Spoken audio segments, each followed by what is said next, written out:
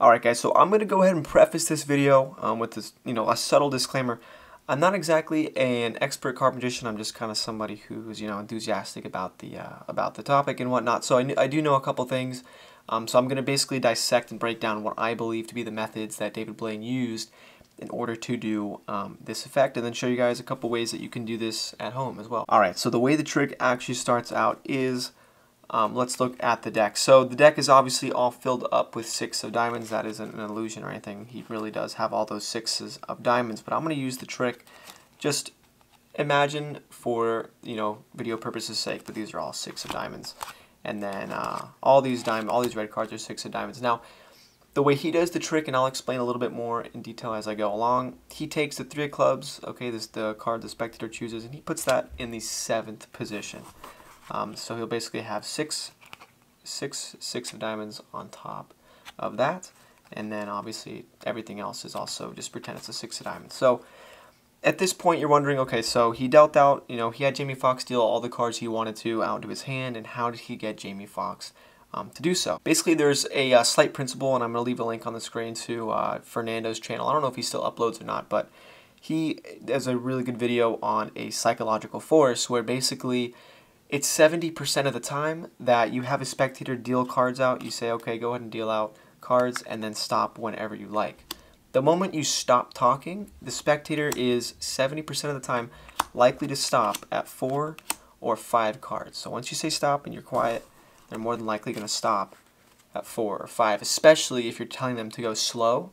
Um, and that's what David Blaine does in there. So it's not a full it's not a foolproof trick. So at any time, I mean, basically Jamie Foxx could have dealt less than those amount of cards, and perhaps you know David kind of would have had to go into a different effect. So obviously David Blaine's a smart guy, and if Jamie Foxx doesn't do what he wants him to do, he's gonna lead the trick somewhere else. Alright guys, I wanted to give you a quick um, editing side note. I noticed um, what I said in the video basically about uh, David Blaine leading the trick into somewhere else, but um, in reality, if the spectator even picked less cards than um, getting to you know the seventh position where the where the uh, three of clubs is at, then the trick is still actually going to work. So I'll give you guys a few examples. So let's say David Blaine deals out the cards and he deals down right one, two, three, and then he says stop, you know, whenever you want. And let's say he deals down, this case, let's do one, two, so that's five cards. So then two more cards down, we are going to have the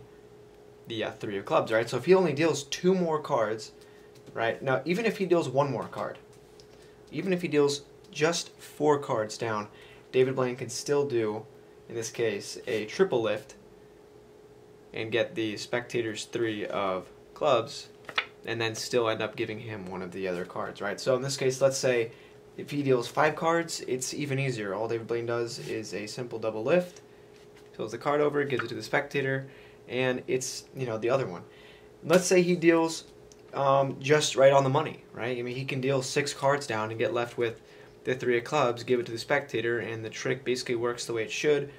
Obviously, there won't be any sort of crazy, um, you know, card changing when once the card's in Jamie Foxx's hand, but the trick will still work either way. So in any situation, I believe David Blaine does have this trick covered um, to work exactly the way he needs to. So as the trick begins, he tells Jamie to go ahead and deal the cards out onto the table. One, two, three. And he deals, sorry, into somebody else's hand. He deals three cards, and David Blaine the whole time is telling him slow, slow, slow. And the moment Jamie gets to three cards, David Blaine says, okay, stop whenever you want. So, you know, Jamie's hand's on the fourth card, and he says, okay, stop whenever you want. You're gonna deal them one at a time, slowly, face down into a small pile, slowly. And I wrote something in his hand, slowly, slowly, slow, slow, slow, into a small pile. Yeah. And then Jamie, stop whenever you want. And from this point, once David emphasized stop on the fourth card, Jamie deals out four more cards. So four, one, two, three, four. So he sets the cards down. Now this is this is a perfect scenario um, David Blaine actually got him to stop, you know, at the fifth card exactly. It's probably what he really wanted him to do also. Um, and to be fair, guys, David has probably performed this effect to a bunch of other people before and practiced this force and, you know, really, you know, dialed down, dialed down and figured out what card people were most likely to stop at. And this is probably where he got, um, you know, the number five from, the way he did the trick. Wherever you want. yeah, her, bro. Yeah, right. Boom. You Stop. done? Done. So from here, it just leads into a double lift. So perfectly for David Blaine, all he has to do is come over and get a uh, pinky count on the bottom two cards, and he shows it to the spectator and says, okay, so here's your card, the three of clubs. Hold on to that. He's really giving him a fake six of diamonds, or he's giving him a six of diamonds actually, and the three of clubs is still on top of the deck. So at this point, what he does is he show he grabs the other guy's wrist that says not the six of diamonds, and he shows it um, to everybody's hand, right? He, or he shows a hand to everybody, and everyone's looking at the spectator's wrist, and all David has to do is move the deck towards his jacket, and then palm the card, right? So he's palming the card, he puts that away, and then he comes back with um, this deck. So look, you stopped right here, right? Right? Look what I wrote. Look what I, here. So this is your card. Yeah. Yeah. Um, hold that. Well, Three of clubs. three o'clock. Show them what I wrote in your hand. Show it to them. Show everybody. Okay, so some quick math for you. I'm going to go ahead and put the three of clubs back on top of the deck. When he, Jamie Foxx dealt all the cards out, there was a total of eight cards, right? And then technically, he should have a total of seven cards left, right? He had eight cards dealt out. He gave Jamie Foxx one of them. David should have a total of seven cards in his hands.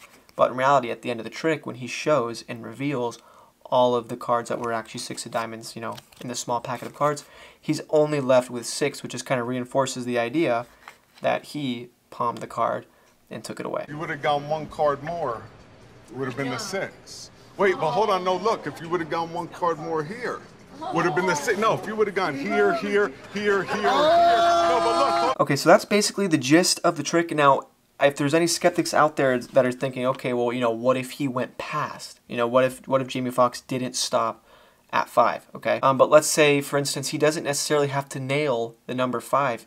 If Jamie, you know, dealt out a total of nine or even ten cards, perhaps, David Blaine can still come away with the trick. So let's say, okay, Jamie Foxx deals down three cards. David Blaine tells him to stop. Uh, but he keeps going till he deals out a total of nine cards, right? So there's four, five, six, seven, eight, nine. At this point, um, David Blaine could just do a triple lift. So he doesn't, like I said, he doesn't exactly have to nail the perfect double lift. He could come over and grab three cards uh, with his pinky, which obviously he's a lot better at than me, but he'll grab three cards and he'll say, okay, so it looks like you stopped me at the three of clubs, right? Give them the fake card, and then all he does is has to take away two cards from the top of the deck.